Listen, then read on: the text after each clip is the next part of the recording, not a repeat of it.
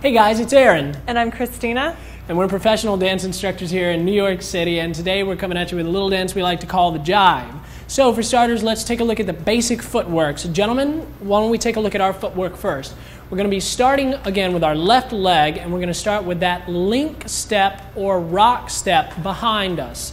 Starting with one, two, three, and four, five, and six. One, two, triple step, triple step, rock step. Now, one thing you'll notice here with the jive, a key characteristic of this and in the music is this percussive accent that we tend to highlight in our foot and leg action, where we accent with the knee one, two, and three, and four, and five, and six, seven, eight. So as to differentiate between the swing and the jive itself, which are both members of the same family and come from that basic swing dance action.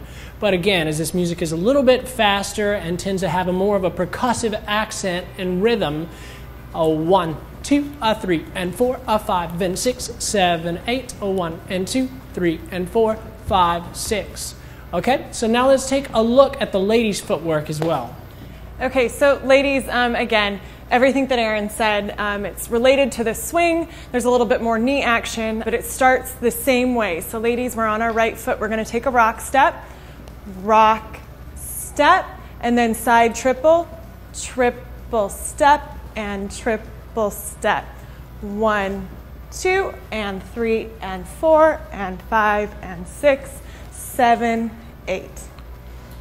Now let's take a look at this action together.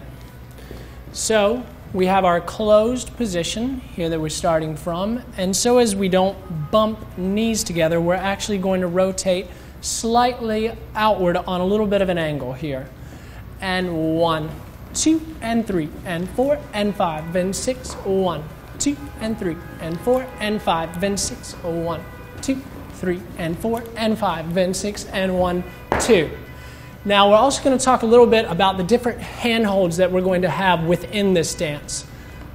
So, we have the traditional kind of swing jive dance frame with the lower handhold connection. And every now and then, we're going to take this handhold that we have here and change to a little bit of a palm to palm action, which is going to help us gain a little bit more leverage in some of our advanced techniques.